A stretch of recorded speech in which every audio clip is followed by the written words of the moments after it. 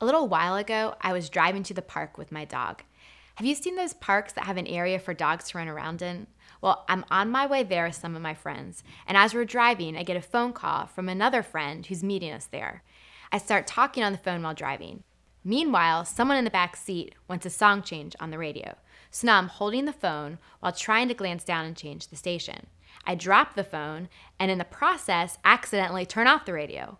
But I recover and keep going. Then all of a sudden, my dog decides it's been too long since I gave him any attention.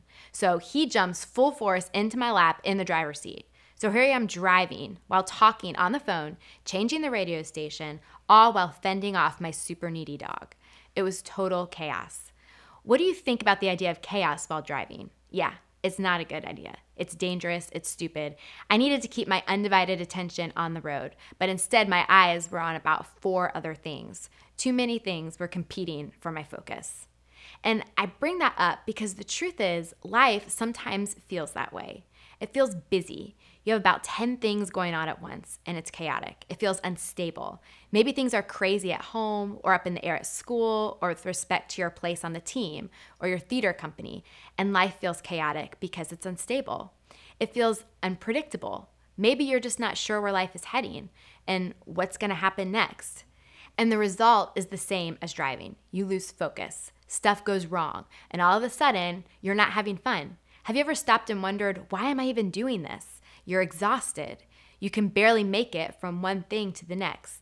You're underperforming. You're doing a lot of things, but all of them about half as well as you want. You're distracted from the most important things like family or Jesus. Anybody feel any of those things? Yeah, we all do because life as a teenager is chaotic, and chaos very quickly takes your focus off of what's most important.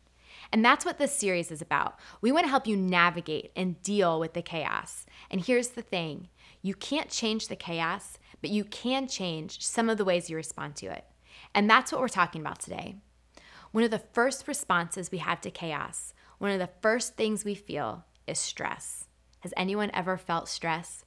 Stress, according to Webster, is a state of mental or emotional strain or tension resulting from adverse or very demanding circumstances. We've all felt it. We all talk about it.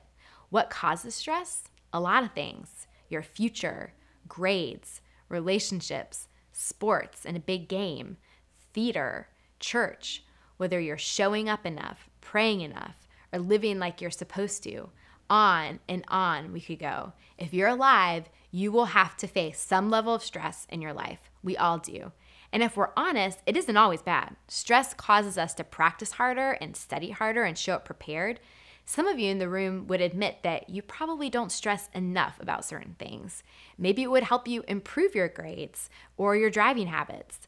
The problem comes when a little bit of stress becomes a lot of stress, when it turns to distress. That's when it starts leading to a lot of negative responses. Your level of worry and anxiety steadily builds until you feel like it's more than you can handle. The pressure in our lives can really start to build. Every teacher thinks their homework in their class is the only one that matters, but you have five teachers you have to please. Your parents want you to get good grades and score well on your SAT so you can get into a good college and get a scholarship because they can't afford your tuition with your sister's wedding coming up your girlfriend or your boyfriend wants you to hang out all the time, but your parents want you home with the family. Your small group wants you to show up to church, but you have games or practices every Sunday. You need to take more AP level classes than you feel like you can handle, and homework is taking over your life. Your parents expect you to behave, but you threw that party when they were out of town, they found out, and now you're in trouble.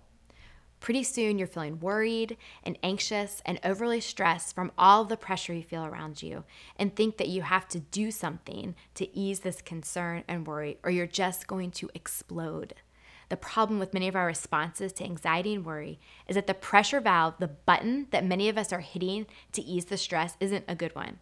You want to feel relief. So you go to a party and you get drunk. You think a few moments to relax and stop worrying about the stress of life, right?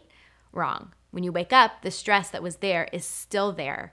And you've added to that the stress of having to lie to your parents, clean up the party, and cover up your weekend. The cycle continues. The smoking didn't actually relieve the stress. If you're honest, the smoking is impacting your life because you now live in fear of getting caught. Isn't it true? Haven't you seen this happen? How many students are dealing with stress by turning to things that are unwise, unhealthy, unhelpful, or ungodly? A lot of us. And ironically, in our effort to deal with stress, we're adding more of it to our lives. And that's why today we want to give you a pressure valve release button that can help you sleep better at night and overcome the struggle of stress and worry in your lives. We want to show you what we think is a solution to creating some calm and managing the demands of life.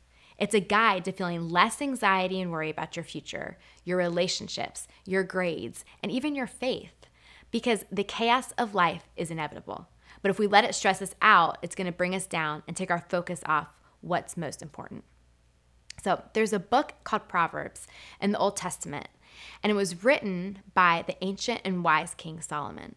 And Solomon was a king, which meant that one of his never ending duties was to wage war against Israel's enemies.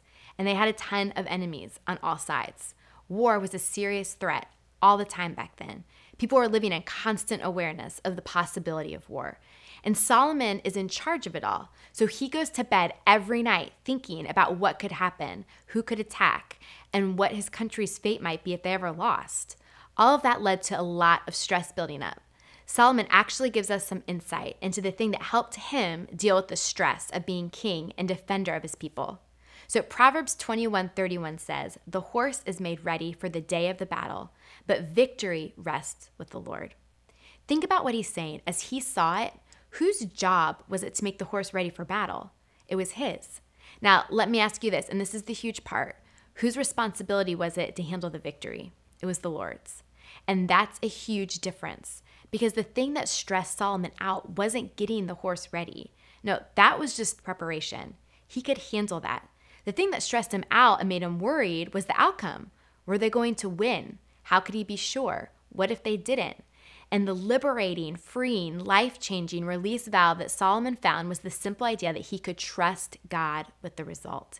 He could stop stressing about the result and focus on the preparation. He could stop worrying about then and just focus on now.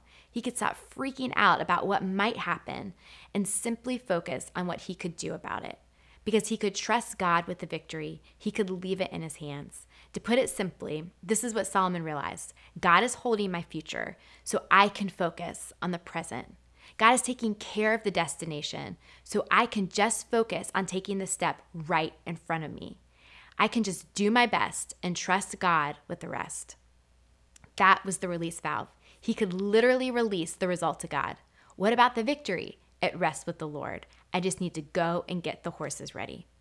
And that's going to be so huge for you as a teenager, as you're facing academic demands, athletic pressures, relational uncertainties, and really big hopes and dreams. If you're going to make it through without being overcome by stress, you need to find the stress reliever too. You need to know that the horse is made ready for battle, but the victory rests with the Lord. He holds your future. So you can just focus on and rest in the present. You can go prepare, study, practice, apologize, serve without being overwhelmed by it all because it all rests with the Lord. God is holding your future and He wants you to focus on and rest in the present. So that's what I want you to do. In the chaos of life, when you're stressed, I want you to learn and to remember that you can release the result to God. Or, as another writer of the Bible, Peter describes it, cast all of your anxiety on him because he cares for you. And that word cast means to throw on, to put upon. Peter is literally saying, throw your anxiety, your stress, your worry, and the chaos of your life on Jesus. Put it on him. He can handle it. It will break your back, but it won't break his. Let him take it for you. So, I want to give you three steps for releasing your stress to God. And the first is identify the stressor, name the stress. What is it that's stressing you out? Because often it isn't obvious. For example, just saying that things at home are stressing you out isn't as helpful as thinking it through to this. My sister and I fight over too many things, and that stresses me out. So, name the stress. The second thing is ask for help. Don't face your stress alone. Sometimes you need to share it with someone who cares about you or ask someone to help you. And then the third thing is is take a step. Once you've figured out what's causing so much stress, think through the possible things you can do to combat it.